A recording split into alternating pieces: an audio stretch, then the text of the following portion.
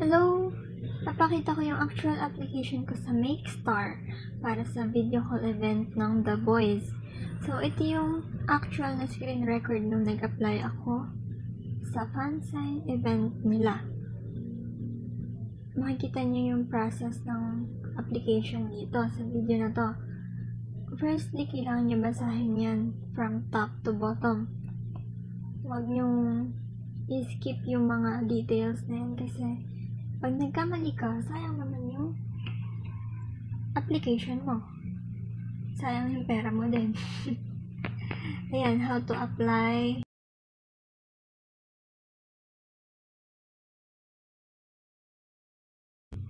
Ayan, just make sure to check yung mga details, kailangan tama. Mga, siguro 30 minutes na ikit ko lang binasa yung buong page na to. Yan, yung mga special gifts, pag umorders para sa winner. And then, dun sa mga, meron din sila para sa mga hindi maka-attend na winner. Video naman, kung hindi ka makapag-video call. Tapos, meron din PR event. Another winners din yun. Ito, cushion for event application. Ito yung pinaka nakakalito kasi hindi ko alam kung paano ko siya ilalagay. Dalawa kasi yung kailangan mo ilagay sa note. And hindi ko alam kung alin ang mauuna at alin ang tamang paglalagay ng note. So, sobrang cautious ako dyan. Kung kailangan nyo ng tulong, i-DM nyo na lang ako. Nalagay ko yung Twitter ko sa baba. Charot. Para yan nga. Nalagay ko yung Twitter ko sa baba. Kung kailangan nyo ng tulong para dyan, send ko yung kung ano nilagay ko. Yan. Precautions sa video call. Basahin nyo yan kasi sayang kapag nagkaroon kayo ng mga mistakes. And then next is, ito na yung sunod, yung mga album details. Ayan, sobrang haba niya. Sige lang, sige lang, sige lang. Ayan, process from sales to delivery. Yan yung deadline of order, tapos mga note, notice kung kailan pa mapapashipin. And then, the video call event reward introduction. Yan, lahat ng order may make star, star maker certificate. Tapos, meron din niya. Pag nanalo ka, may coupon for video call event ka. So, yan yung itsura niya. Pero hindi mo makukuha yan sa, ano, parang, ano lang siya, picture lang siya. Hindi siya yung, hindi siya send sa'yo yung coupon. I, kasi naka-announce lang siya sa page nila. Tapos, makakatanggap ka ng email. Pero wala yung mismo parang coupon na ticket na makukuha mo. And then, yan. Back to top tayo. Order na tayo. Ang kinuha ko ay sa set 2. Set 2 ay set of 3 na siya. Kapag model ka ng isa, tatlo na yan. Tatlong album na yan, tatlong entry na din yan. Ang max niya per order is 10. So, that's 30 albums. And, syempre, minax ko yun sa akin. 10. Yan. Lagay mo na yung shipping details mo. Make sure na tama yan kasi sayang yung album sa pag naligaw. And then, payment via PayPal or international card. Check your ano, address. And then, yan, pay. Sa PayPal ako nagbayad kasi nung Apple Music, nag-fail yung card ko dun sa Gmarket. So, para safer, mag-PayPal na lang tayo. ayan, boss. Ang pera. And then, ayan, okay na. Ayan na, payment completed. Pledge number. Andyan, makikita mga in-order mo.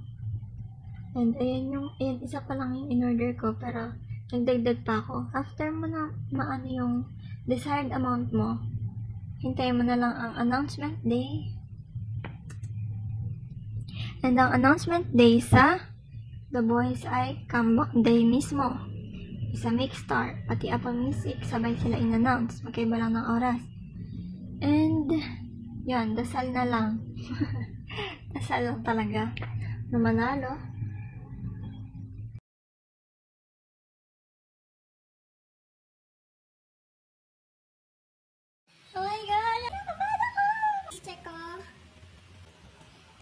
ko yung results ng Apple Music at na Make Star. Hmm. Tagalin natin yung Twitter. Yan na! Wala pa! Pinagabano ko. Saan ba makikita yun? Hello?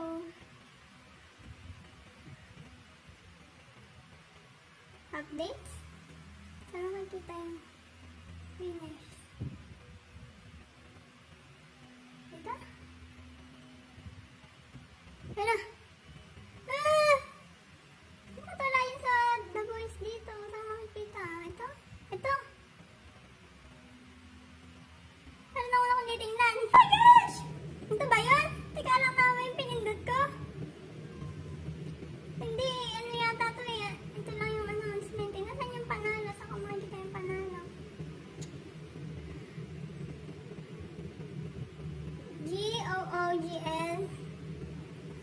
goo.gl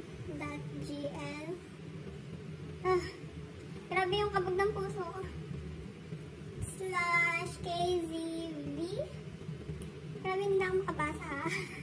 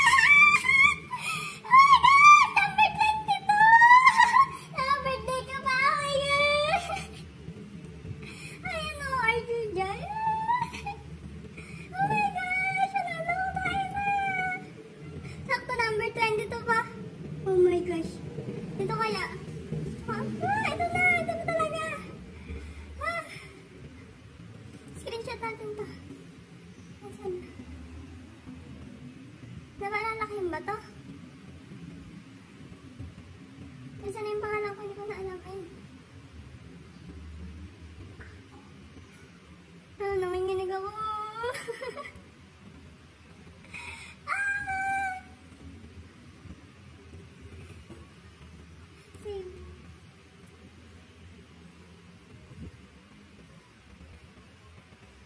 Grabe guys. Hindi ko alam kung ano nangyayari. Ito.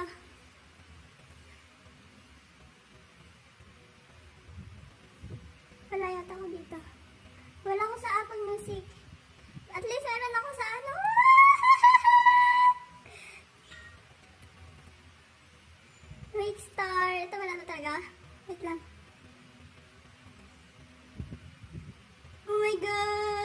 Talong sa isa. Ang daming Japanese.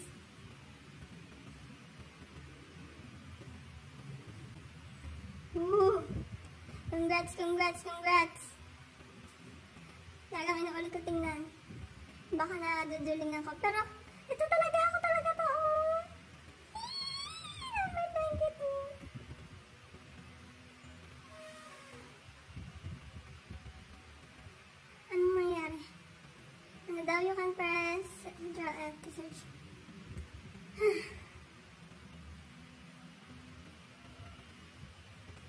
natin yung email ko. Ito ba?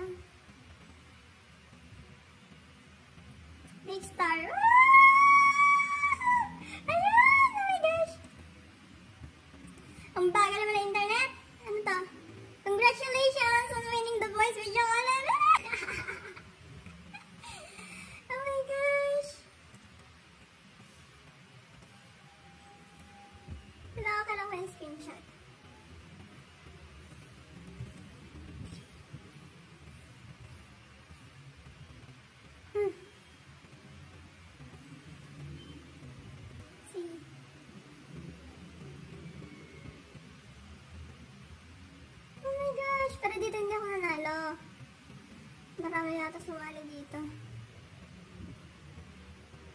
But anyways, I want